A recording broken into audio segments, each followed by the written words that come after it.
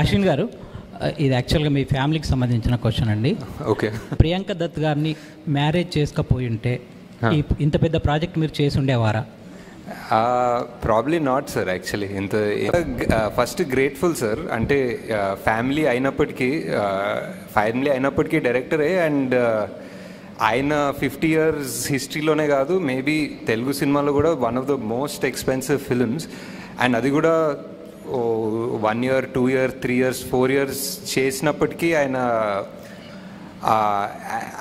And just fully grateful అండి అంతే.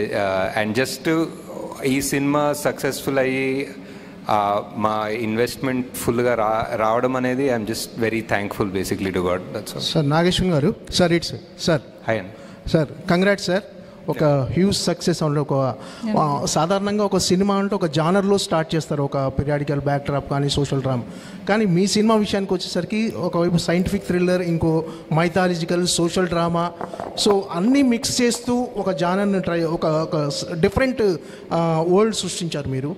ఎప్పుడైనా సినిమా చేస్తున్నప్పుడు అసలు మనం ఏ జానర్ చెప్తాను ఎలాంటి సినిమా చెప్తున్నాం అని ఒక కన్ఫ్యూజింగ్ కానీ అంటే అంత క్లారిటీగా చెప్ చెప్తానన్న కాన్ఫిడెన్స్ ఎలా వచ్చింది సార్ అసలు మీకు అది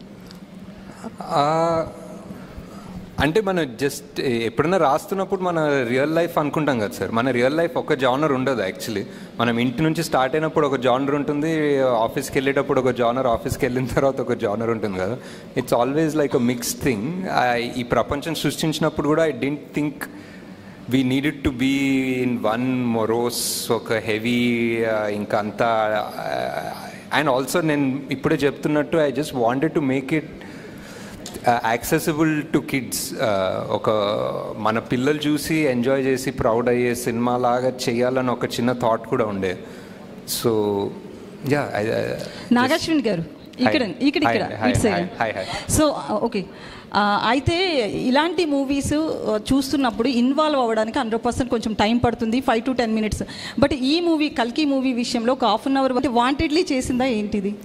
లేదు లేదు. అంటే ఐ థింక్ ఆనెస్ట్గా చెప్పాలంటే I think first first seven eight minutes చాలా ఎంగేజింగ్ ఉండే అనుకుంటాను like with the Mahabharata and those things but once Kashi లోపలికి వెళ్ళి భైరవాద్ అంతా వచ్చినప్పుడు it became a bit slow but అదే they were choices they were things we were trying to balance and make and everything అది world setup అనుకోవచ్చు character setup అనుకోవచ్చు ఇప్పుడు దీపిక ఒక ల్యాబ్లో ఉంది. ఆ ల్యాబ్ ఏంటి? ఆ- ల్యాబ్లో రోజు ఆమె పరిస్థితి ఏంటి? ఆమె స్కెడ్యూల్ ఏంటి అనేది ఒక రకంగా చూపించాం. మేబీ వేరే రకంగా చూపించేస్తే ఒక వన్ మినిట్ తగ్గేదేమో ఒక one and half minutes తగ్గుండొచ్చు. But these are all these are all choices we made because ఇలాంటి సినిమా తీయలేదు. సో ఎందుకు ఛాన్స్ ఎందుకు తీసుకోవడం? ఫట్ అని ఒక థర్టీ సెకండ్స్ చూపించేస్తే అర్థం కాదేమో.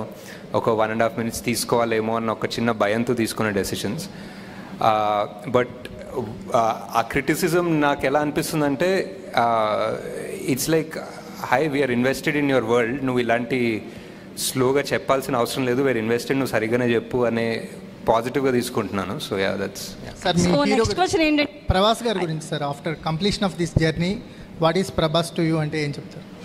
ప్రభాస్ ప్రభాస్ గారి గురించి. ఎలాంటి బాండేజ్ ఉంది? ఆయన ఎలా రియాక్ట్ అయ్యారా?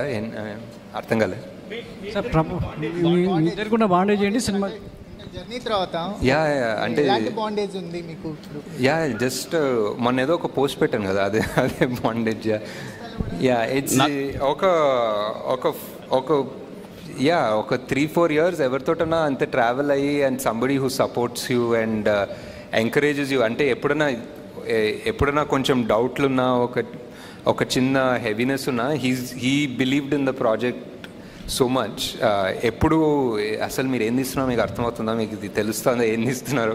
ఇట్స్ మీరు అస్సలు వరి కాకండి. This is huge this is massive నేను చాలా ఇరవై ఏళ్ళుగా తీస్తున్నా కదా. దిస్ ఇస్ నా దిస్ ఇస్ నాట్ నార్మల్ అని చాలా ఎంకరేజ్ చేసేవాళ్ళు. That I don't know just to encourage me are really he believed it but that help to lot అంట